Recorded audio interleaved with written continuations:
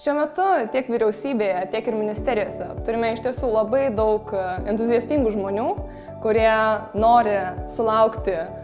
pagalbos ir kurie nori pokyčių ir kurie labai nori priimtų profesionalius žmonės, kurie atvyksta ir nori prisidėti prie viešojo sektoriaus pokyčių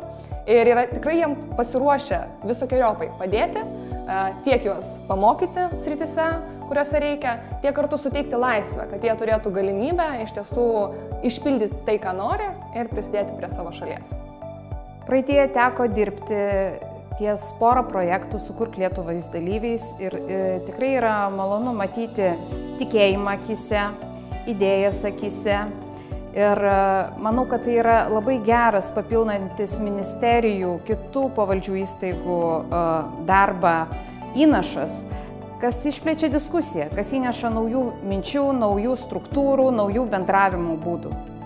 Potencialus kur Lietuvai dalyvis visų pirma turėtų būti labai entuziastingas, e, nebijantis pokyčių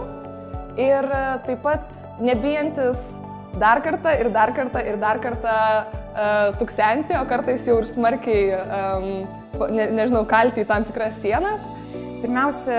norisi dirbti su švietimą mylinčiais žmonėmis, švietimą tikinčiais žmonėmis, norisi iniciatyvumo, kūrybiškumo ir atsakingumo.